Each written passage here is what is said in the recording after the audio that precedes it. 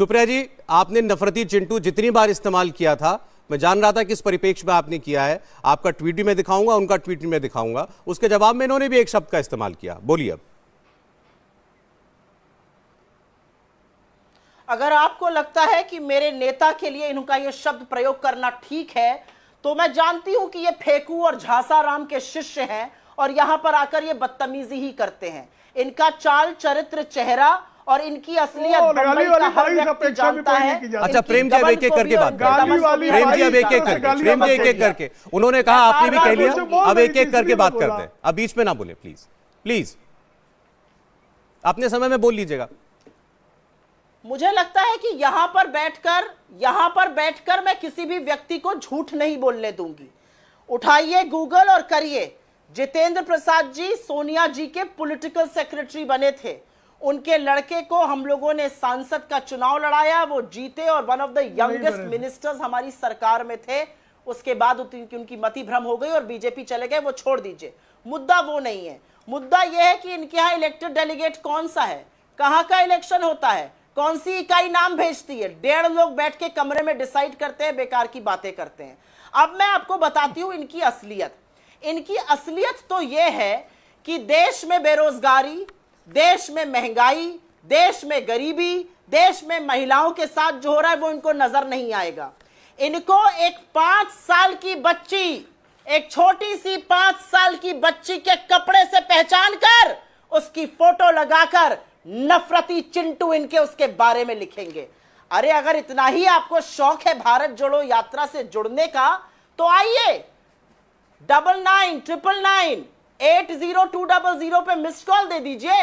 और भारत जोड़ो यात्रा डॉट इन से आइए ज्वाइन करिए। मुझे तो लगता है भारतीय जनता पार्टी के हर उस व्यक्ति का जो। लोगों को कपड़े से जो लोगों को बोली से जो लोगों को देखकर पहचानता है उसको भारत का भ्रमण करना चाहिए। भारत देखिए आप आकर। और अंत में मैं एक बात और कहना चाहती हूँ वो बात कहनी ज़रूरी एक बार जरा वो तस्वीर स्क्रीन पर रखिए ट्वीट स्क्रीन पर रखिए क्योंकि इतनी चर्चा उसकी हो रही है। मनोहर जोशी जी। बोलिए।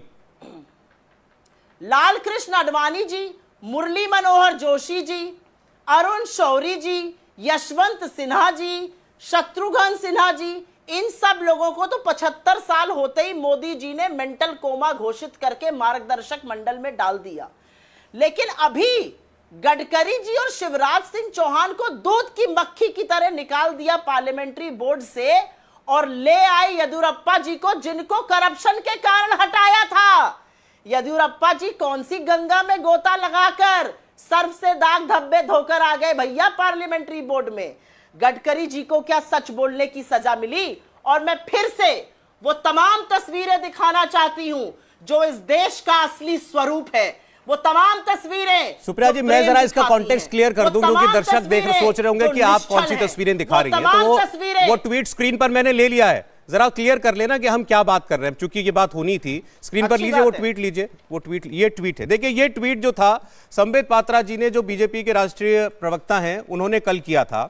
इसमें राहुल गांधी एक मुस्लिम लड़की का बच्ची का जो पाँच साल की बच्ची है बता रही है सुप्रिया जी उसका हाथ पकड़ के चलते हुए दिखाई दे रहे हैं।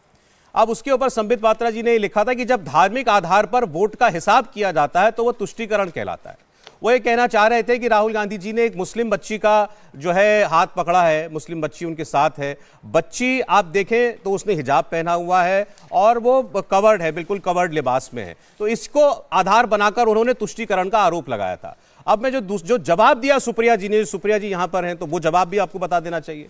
सुप्रिया जी ने लिखा था, संबित जी का नाम लेकर के कि तुमसे ज़्यादा घटिया और गिरा हुआ व्यक्ति मैंने अपने जीवन में नहीं देखा। एक छोटी सी बच्ची को भी नहीं बख्शा। यात्रा में अपार जनसमूह देखकर बौखलाना एक बात है, पर नफरत में इस तरह अंधा होना। You are the pit Sambit Swaraj. ये आपने लिखा संबित पात्रा के लिए। उन्होंने अपने इस ट्वीट में, ठीक है, उन्होंने तुष्टिकरण का आरोप लगाया। ये बात भी ठीक है, ये बात उन्होंने कही होगी, लड़की बच्ची का लिबास देख करके। लेकिन आपने जिस भाषा में सुप्रिया जी जवाब दिया, क्या वो ठीक था? मुझे उससे बदतर भाषा में जवाब देना चाहिए था। एक पाँच, मैं माँ हूँ और एक पाँच साल की बच्ची को आप जब सिंगल आउट करते हैं, उसके कपड़े के लिए, इससे ज़्यादा घटिया सोच का दूसरा कोई आदमी नहीं हो सकता है। निकृष्ट सोच है ये, नफरती सोच है। लेकिन उस नफरती सोच का भी तो पर्दाफाश होना चाहिए। उस नफरती सोच को सैकड़ों फ़ोटो में से वो एक ही फ़ोटो क्यों नज़र आई? क्यों नहीं ये बूढ़ी माँ नज़र जिसने अपने हाथों से चटाई बुनकर राहुल गांधी को दी और उनसे मिलकर फपक कर रो पड़ी अपनी दुर्दशा बताते हुए। मुझे बताइए वो नफरती चिंटू मुझे और खराब लिखना चाहिए था। और इसलिए लिखना चाहिए था क्योंकि ये नफरती चिंटू 2008 में टोपी पहन के मजार पे गया था दिल्ली में 2008 चलिए ठीक है। तब हेटरेड तब नफरत इतनी घुली नहीं थी। एक मिनट एक मिनट आपने मुझसे सवाल पूछा है सुनिए अब ये नफरती चिंटू। और ये इनके आका हैं। ये हिंदुस्तान में किसी को गले नहीं लगाते हैं। लेकिन गल्फ के लीडर से तो ऐसी गलबैया करते हैं कि पिछले जन्म के भाई मिल गए हो। ये मोदी जी हैं, ये इनके आका हैं। गल्फ में खूब गले लगते हैं। हिंदुस्तान के किसी व्यक्ति को गले नहीं लगाएँगे।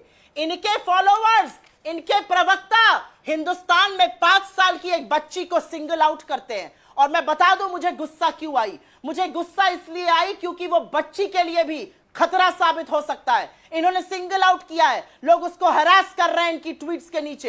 एक छोटी सी पाँच साल की बच्ची को हरास करने की इजाज़त हिंदुस्तान नहीं दे सकता है। वो हिंदुस्तान नहीं दे सकता जहाँ पर यत्र नार्यस्तु पूजयंते रमनते तत्र देवता की प्रगति हम फॉलो करते हैं। क्या बात करता है ये आदमी? ये नफरती नहीं बौखला गया है अब चूँकि वो व्यक्ति यहाँ नहीं है तो आपकी बात का जवाब वही देते हैं लेकिन मुझे नहीं मालूम प्रेम शुक्ला जी को प्रकरण पता है कि नहीं पता है। अरे यही दे यहाँ है ना। हाँ अगर लेकिन इनका ट्वीट नहीं है ना तो मैं तो उनसे पहले ये पूछूँ इनको ये प्रकरण मालूम है या नहीं मालूम है।